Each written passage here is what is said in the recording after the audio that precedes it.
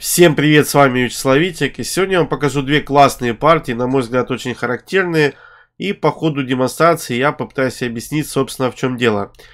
Итак, я играл, сыграл две партии с австралийским гроссмейстером, если судить по флагу, а, судя по всему, молодой гроссмейстер под логином Молтон. И начну с партии, которую я проиграл. Да, я особо не стесняюсь, не комплексую. И поехали. Е4, С5 и Гамбит Мора, Д4. СД и С3. Да, и все-таки чаще я здесь играю Д3. Хотя объективно ДЦ, я думаю, конечно, сильнейшая. Но вот, чтобы не пускаться в дебютные дебри, я часто хожу D3. Здесь меня потянуло на приключения, о чем, собственно, я вскоре пожалел. Итак, dc, конь c3, конь c6, конь f3, e6, слон c4, ферзь c7. Этот ход часто связывают с так называемой сибирской ловушкой, где черные в дальнейшем ходят конь f6. Ну, например, да, конь f6, 2 0, конь f6, ферзь c2, конь g4. И там где-то вот создается угроза конь d4.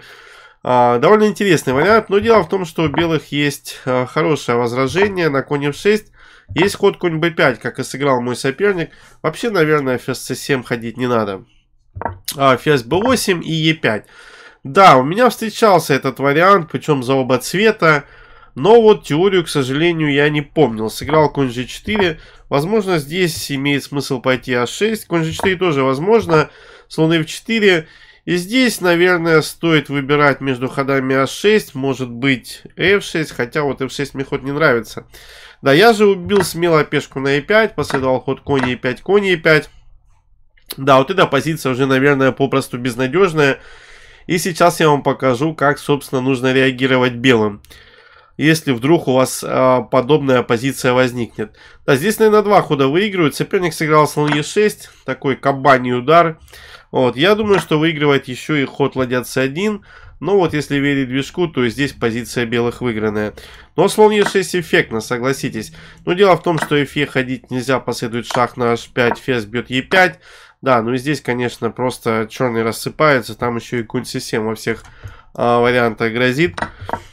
Да, я пустился во все тяжкие, сыграл ДЕ. Ну и здесь следует ход ладья c1, грозит шаг на c7 f6, конь c7, шах, король f7, слон e5, fe.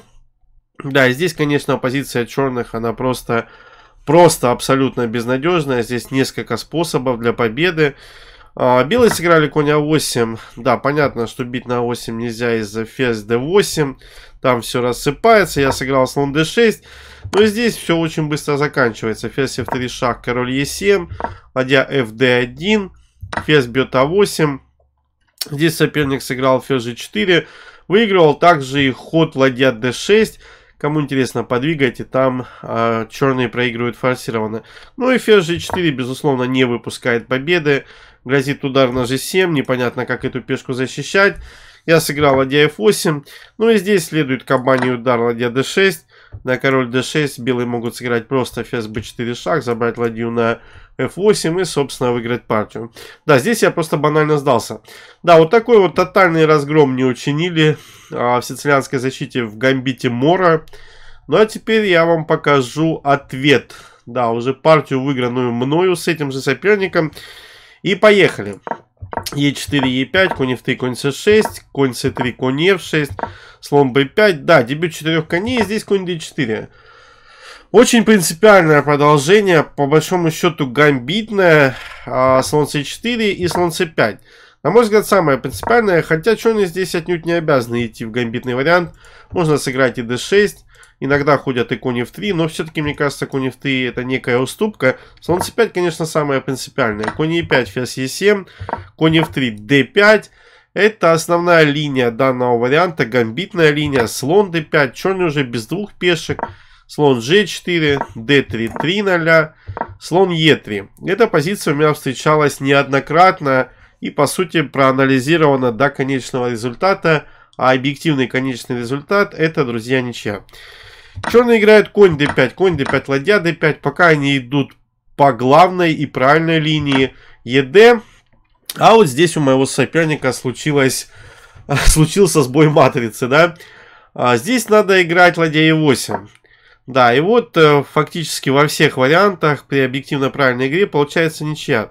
Ну, есть ход 2-0, на что там вот такие вот варианты вполне возможны. Есть и другие продолжения. Но, в общем, а, у меня есть обзоры по данному варианту на канале. Кому интересно, найдите и посмотрите. Но соперник вместо ладья 8 сыграл сначала слон f3, gf и здесь сыграл ладья 8. Казалось бы, перестановка ходов. Но белые здесь отнюдь не обязаны ходить 2-0, и я это знал. Эта позиция в анализе у меня стояла. Здесь надо пойти король d2, и уже от атаки черных не остается и следа. А, черные сыграли ферзь h4, просто c3. Ладья e3, да, возможный ход, но здесь уже это не спасает. fe, ферзь f2, шах, король c1, ферзь бьет e3, шах, ферзь d2, ферзь f3, ладья e1. Движок здесь счита считает сильнейшим ход ферзь e1 и на коне 2 пойти король c2. Да, и там в дальнейшем белые просто выиграют. Там еще и ладья d1 можно подтянуть. Ну, в общем, без вариантов, да. Все-таки двух качеств не хватает. Я же сыграл ладья e1 тоже неплохо. Конь f5, d4, слон d6, король c2. Да, тут особо никаких шахов нет. Ферзь d5, ферзь d3. Да, и в дальнейшем я скинул одно качество вот таким вот образом. Но, тем не менее, все-таки Качество лишнее есть, пусть и за пешку, но позиция абсолютно выигранная. Ну, я не испытал больших трудностей в реализации перевеса. Давайте я вам быстро промотаю.